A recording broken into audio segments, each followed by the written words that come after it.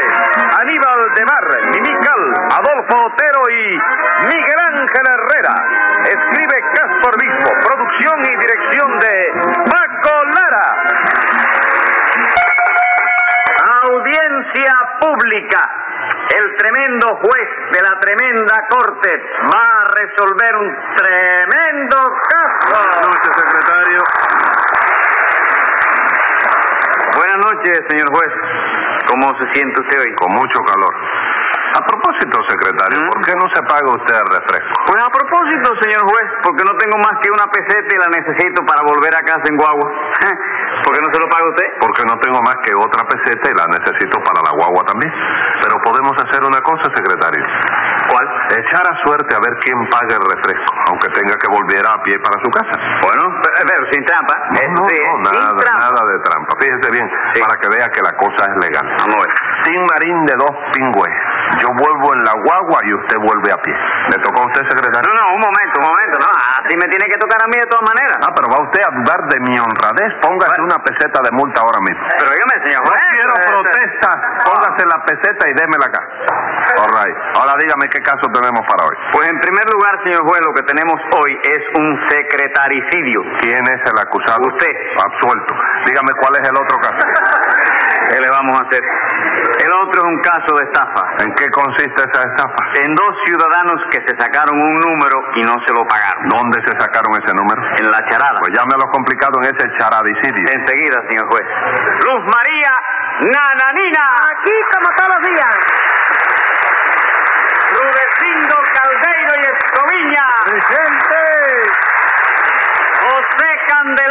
Tres Patines. ¡A la reja!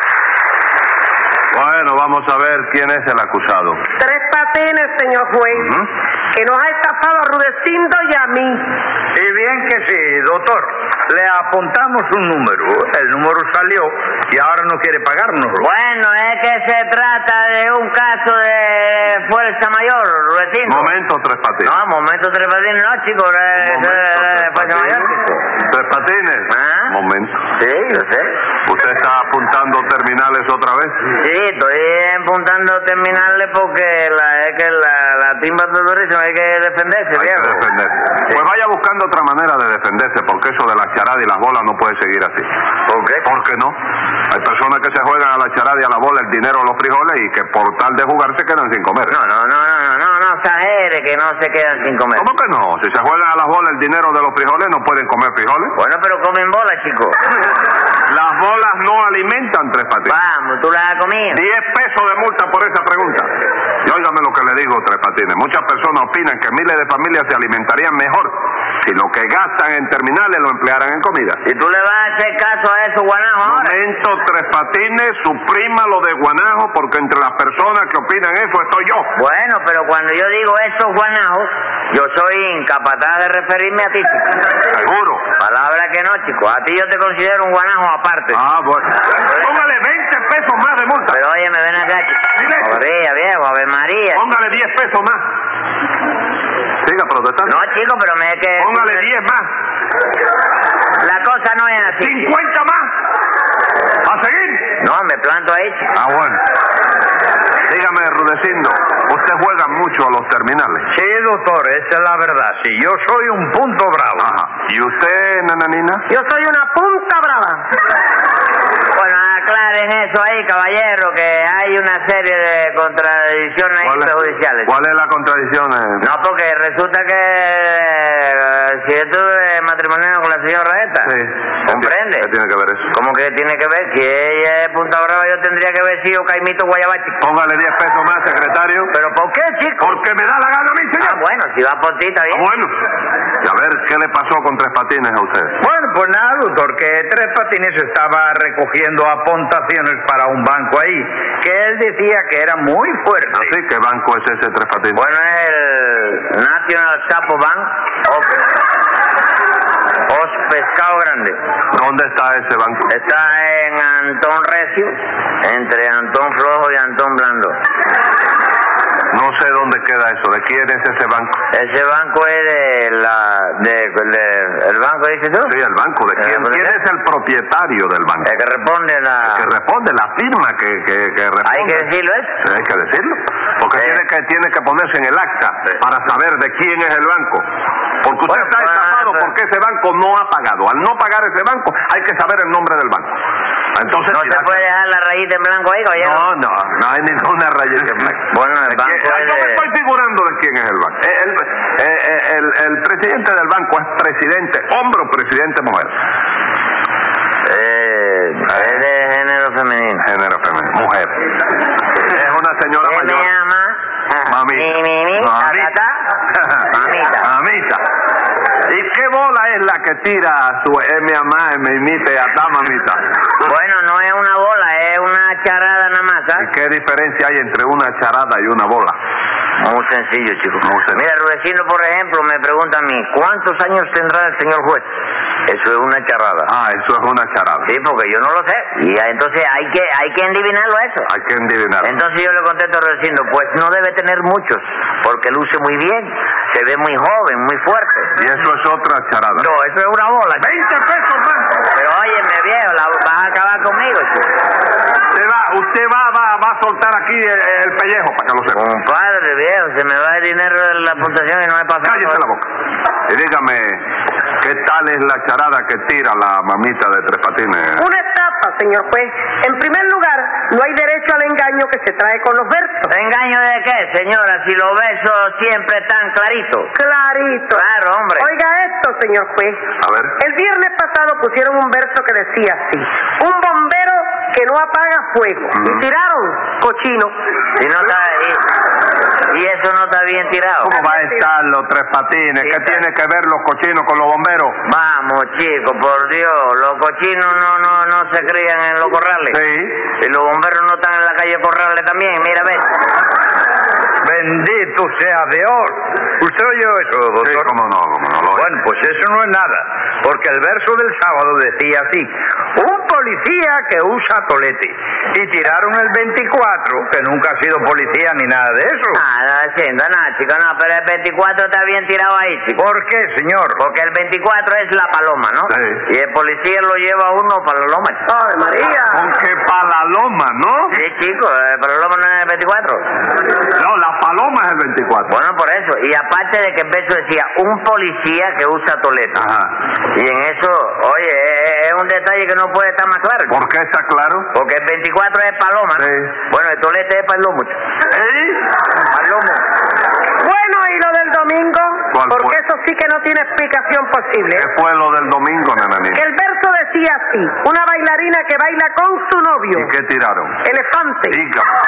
Yo nunca he visto un elefante, ni un que sea bailarina, ni si tiene novio, ni nada. Claro que no, si acaso tendrá novia, ¿no es eso? Sí, viejo, pero el elefante tiene trompa, ¿no es eso? Ajá. Y la trompa baila. ¿Dónde baila la trompa? En casa del trompo, chico. A ver. Eso está- Dios. Eso está claro. Doctor, yo quiero que usted me diga si eso es una explicación plausible y satisfactoria. Pero diga la verdad, hágame el favor, pórtese como un hombre una vez en su vida. ¿Qué es eso de una vez en su vida, Rudecindo? Como un hombre. Es que no te veo indignado, no veo indignación en su rostro. Y usted tiene que apoyarnos, doctor. Yo soy el juez y tengo que ser neutral. Muchísimas gracias. De nada. ¿Por qué me da las gracias, secretario? Yo no sé. En fin, Tres Patines. Vamos a suponer que los... No se rían, nananina, que esto es serio. Vamos a suponer que los versos estén claros. Haga usted un... Óigame bien lo que le No, estoy no, yo estoy ahí, yo estoy ahí. Ah. No, no, no, no, oiga, oiga lo que el doctor le... le- Cállese le- la le- boca usted.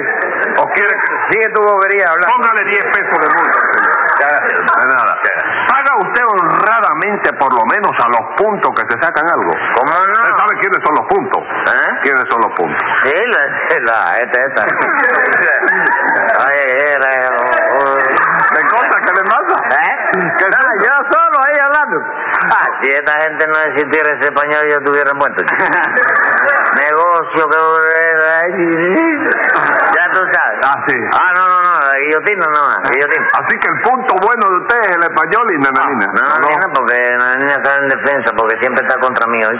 Y entonces resulta que al hacer causa común con el gallego, a los dos los cepillos. A los dos los cepillos. Bueno, ¿qué? Pues mira, chicos, hablándote, contestando de eso de que si yo le pago honradamente Sí, a, los puntos. que se sacan algo. Sí. La semana pasada, para no ir más para atrás, Sí. le pagué 100 pesos a un machante mío que se lo sacó con la cueva del humo. El verso decía, ¿Cuál- ¿Eh? ¿Cómo- ¿Cómo es? ¿Cómo es? el verso decía, el, eh, la canción de la cueva del humo. ¿y cuál es la cueva del humo? ¿Cuál va a ser? La cachimba, chico. Ah, sí, ¿verdad? Cachimba es la cueva del Entonces procede usted bien. ¿Cómo no? Mira, yo tengo un primo mío que por no proceder bien el pobrecito, ¿Sí? se buscó un lío tremendo. A ver qué hizo su primo. Nada, que un día estaba muy apurado de dinero, Sí. puso un verso que decía, un preso que se escapa de la cárcel. Ajá. Y tiró el número que estaba preso. No me diga. Era el número que estaba preso. Figúrate tú, lo denunciaron, lo llevaron al juzgado y le echaron una pila de años. Por estafa. No, por infidelidad en la custodia de preso. Así estaba justificado. Sí, claro. Bueno, Tres Patines, si usted procede bien y le paga al que se saca, ¿por qué Rudecindo y Nananina lo acusan de estafa? Ya te lo dije, chico. Oye, este es un caso de fuerza mayor. ¡Qué fuerza mayor! Ni qué narices, hombre. Un caso de estafa. ¿No es verdad? ¡Hombre! Sí, es verdad. Bueno, Oye ya, la ya, otra, no. oye la otra. Oye, la otra no, que yo Sí. tengo mi nombre. ¿No Oye, la otra. de qué? Usted es el eco del otro, es el eco. No empiecen a discutir. Y hágame el favor, señor bolero.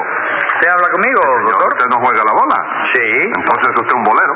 Ok, doctor, ok, pero permítame una pregunta. ¿Cuál? ¿Usted monta guagua? Señor. Entonces es usted un guaguancó. No, señor. Yo no soy un guaguancó. Entonces yo tampoco soy un bolero. Sí, señor, usted es un bolero porque juega la bola.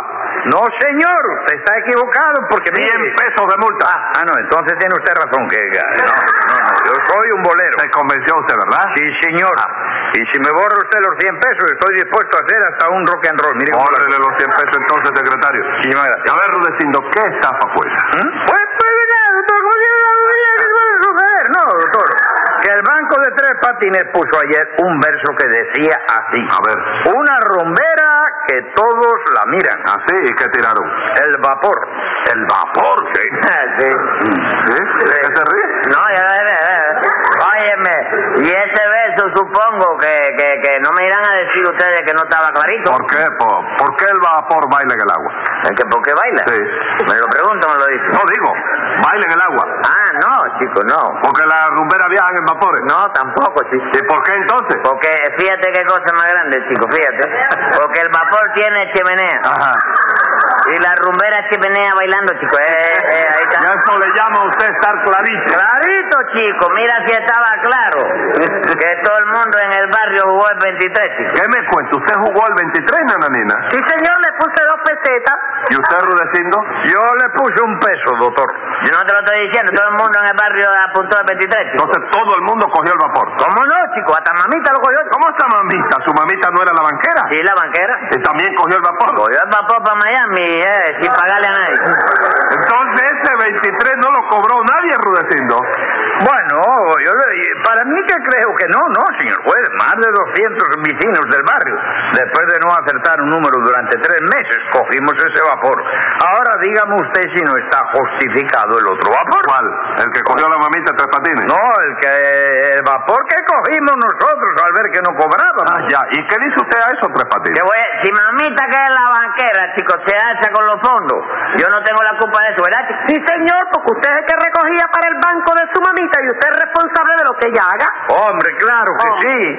Lo que ha hecho su mamito es, pa- es para que le manden seis años y un día por lo menos a la cárcel de, de mujeres, ¿Y compadre. a mí qué me cuenta con eso, compadre? Y al irse su mamita, el que va a tener que ir para la cárcel de mujeres es usted. Ay, no me diga. A ti te trataron bien por allá, ¿no? No, oiga, oiga, oiga, un momento, yo, yo no he estado allí nunca. Bueno, pues yo no pienso ir tampoco, de manera que vamos a ver si nos respetamos un poco. ¿Quién lo va a respetar a usted, Tres Patines? Porque yo estoy seguro de que usted es culpable. No, chico, no, nena, yo, yo, yo, yo pasaba las apuntaciones para el banco. Que el banco se fue. Yo no puedo pagarle a nadie porque ese es un caso de fuerza mayor. No, Tres Patines, eso no es fuerza mayor. ¿Cómo que no, No, chico? señor, eso es fuerza de cara. ¿Y tú quieres una fuerza mayor que la fuerza cara? Escriba ahí, secretario. Venga la sentencia. Por todo lo que se ve, creo que en esta ocasión hubo una combinación entre su mima y usted. Y por los vecinos esos que perdieron su vapor, le voy a poner 100 pesos y un mes de arresto mayor.